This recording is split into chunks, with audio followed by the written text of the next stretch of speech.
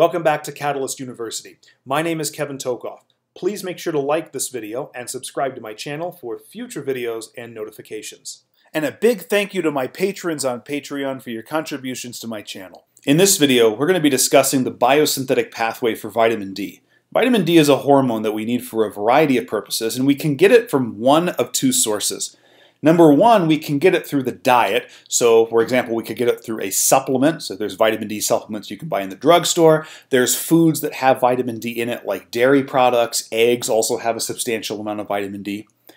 And then the second way we can get it is through this biosynthetic pathway. And any vitamin D, really any molecule for that matter, that's made biosynthetically by our own enzymes is termed de novo, meaning we're making it from scratch. That's what de novo means. And that's what we're going to be looking at here. This molecule over here on the right side of the screen, this is 7-dehydrocholesterol.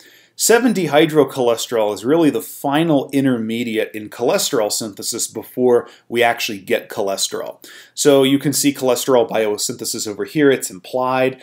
We get 7-dehydrocholesterol, and then we have this enzyme shown here called 7-dehydrocholesterol reductase, and this converts 7-dehydrocholesterol into mature cholesterol.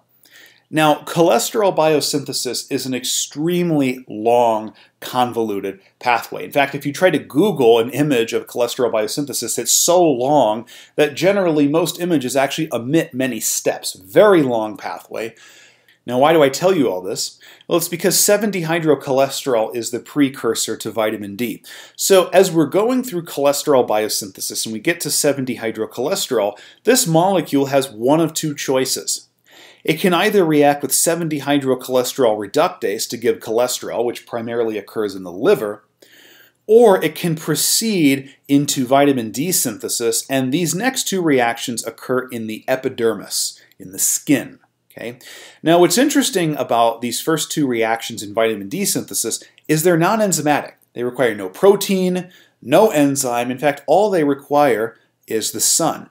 You've often heard that you need to get your vitamin D, so go out and play in the sunlight. This is precisely why. So the first reaction uh, converts 7-dehydrocholesterol into what we call pre-vitamin D or pre-vitamin D3. The type of vitamin D that humans synthesize is D3 specifically. There's other types that you can obtain from plant sources that'll work, um, but this is the kind that's made in humans. And this reaction requires the light component of the sun. Now the sun emits UV light, and we're specifically looking at any wavelength between 290 nanometers and 315 nanometers. And so this first reaction is a light-dependent reaction. If you don't have sufficient UV light, you don't get sufficient conversion of 7-dehydrocholesterol into pre-vitamin D. And this is a problem in very high latitudes, especially Alaska and northern Canada, because there's times of the year when it's mostly dark and the sun only comes out for maybe one or two hours. And so those individuals are at much higher risk of vitamin D deficiency because there's less UV light that they're exposed to. And so people like that in those environments would probably benefit from a UV lamp that they can sit under for maybe 15 minutes a day or something like that. The second reaction here requires heat, and you can certainly get heat from the sun. You can also get heat from a lot of other sources. It just requires heat. The sun is just a good way to get that. But it converts pre-vitamin D3 non-enzymatically into cholecalciferol, which you see right here. This cholecalciferol is sometimes termed vitamin D. If you look this up on the internet, on Google Images or something, it sometimes is called vitamin D. What's important to understand is that it would have to be termed inactive vitamin D. Okay, this is not yet active. Okay, and so for that reason, I'm choosing to term it its chemical name cholecalciferol. Uh, if you read about this in a biochemistry textbook, it'll most likely be written as cholecalciferol. Okay. Now at this point, these two reactions not only are non-enzymatic, they both require the sun, and they both occur in the skin at the level of the epidermis.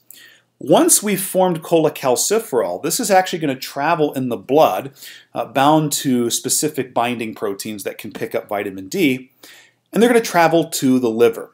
And in the liver, there's an enzyme, it's actually a P450 enzyme called 25-hydroxylase. And basically what it does is it takes cholecalciferol at this point right there where my mouse is, and it adds a hydroxyl group.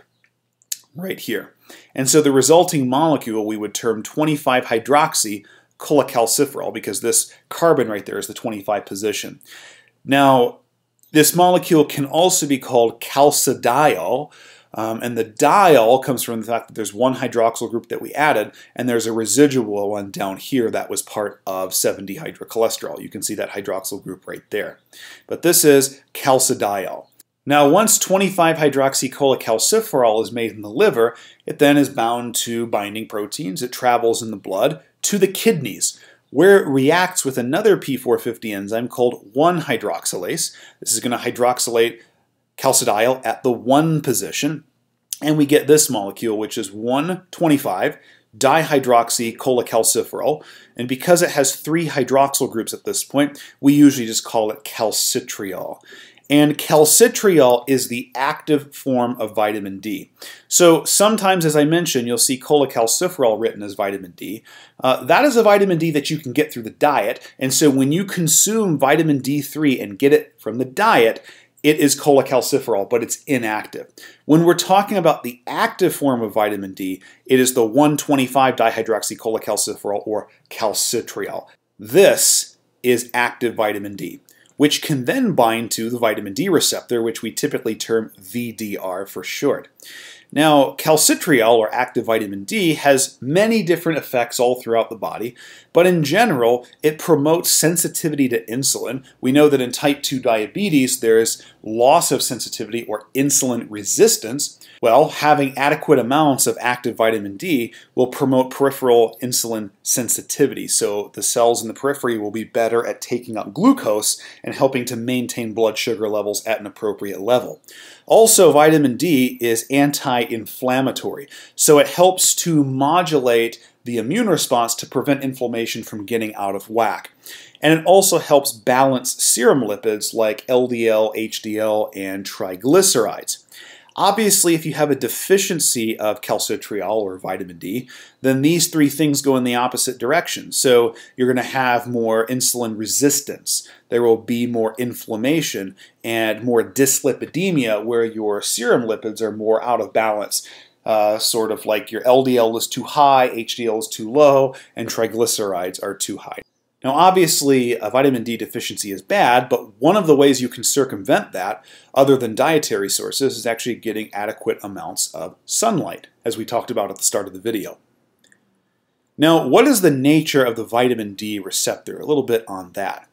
Well, calcitriol is a hydrophobic molecule. Yes, it has three hydroxyl groups, but it's very hydrophobic, very lipophilic. So it's not going to be soluble in water. In fact, we already talked about how when these molecules travel in the blood, they have to be bound to a vitamin D binding protein. And so the receptor for this molecule is not going to be on the plasma membrane. In fact, it's going to be inside the nucleus. So this right here is the nucleus, purple thing is the nucleolus, and then here, of course, is the DNA.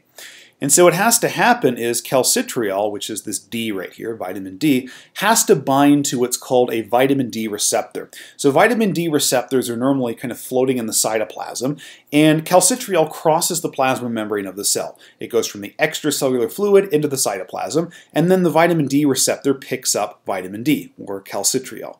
Once vitamin D is bound to its vitamin D receptor, there's another protein that will then bind to form what we call a heterodimer. Hetero meaning different, and there's two proteins, so a dimer, of the vitamin D receptor and this RXR, which is what we call the retinoid X receptor. Once we've formed this complex of the VDR, RXR, and vitamin D, or calcitriol, then this complex will translocate into the nucleus. And let's see what actually happens there. So here's our complex. It's going to translocate into the nucleus, and you see that it actually binds to specific regions of the DNA termed VDRE. This stands for vitamin D response elements. So in order for vitamin D to cause any gene expression and have any kind of physiological changes, this complex has to bind to these very specific regions of the DNA, the vitamin D response elements. Once this complex is bound here, it allows the recruitment of other proteins such as RNA polymerase, which then can transcribe the DNA and produce mRNA that's related to vitamin D. And of course, that mRNA leaves the nucleus, goes into the cytoplasm, and is translated to proteins. And then these proteins are what ultimately produce the cellular effects, which then produce system wide effects like anti inflammation, insulin sensitization, and serum lipid balance that we talked about before. Okay? Now, one quick thing before we conclude this video, and it has to do with statin medications. We talked about statin medications in other videos. You can certainly search on my channel statins or cardiovascular medications or something like that. But remember, statins inhibit the enzyme HMG-CoA reductase. Now, if you don't know what that enzyme is, that's fine, but understand that HMG-CoA reductase is an enzyme very early in cholesterol biosynthesis. We mentioned that's a very long pathway. HMG-CoA reductase is actually, I believe, the third enzyme in the pathway. It's very early, okay? If you were to take a statin, which inhibits that enzyme, what happens to cholesterol biosynthesis? Well, it drops, right? You're not going to be making any cholesterol yourself. So de novo cholesterol synthesis goes sharply down. And that theoretically is the goal of statin therapy. If somebody has high LDL, right, you want to bring the LDL down. And so statin medications reduce cholesterol synthesis, which in turn reduces LDL. But these statins have a lot of side effects. Let's think about it. If we're shutting off HMG-CoA reductase, we're shutting off cholesterol biosynthesis. So what's going to happen to the quantities of 7-dehydrocholesterol? Well, that's going to drop right? Cholesterol is going to drop, of course, but it's because 7-dehydrocholesterol, the precursor to it, is going to drop. If 7-dehydrocholesterol drops, all of this synthesis is going to drop.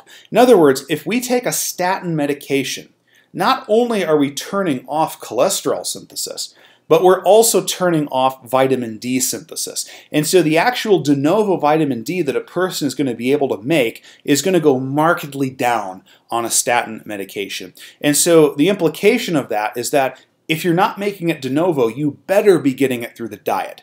Uh, meaning you're going to have to take cholecalciferol, the inactive vitamin D, through the diet. And again, sources that might include eggs, dairy products. You can certainly look those up online. There's plenty of them. But you have to get vitamin D through the diet. You can't rely on this pathway because with a statin medication, you're not getting any 7-dehydrocholesterol, right? The synthesis is shut down. So this molecule's out, and so the whole pathway is out. Okay, so just wanted to cover that really quick clinical application. So hopefully this video gave you a good understanding of the clinical application and the pathway for vitamin D synthesis. Thanks for tuning in. Please like, subscribe, and check out my Instagram for cool science and not science stuff.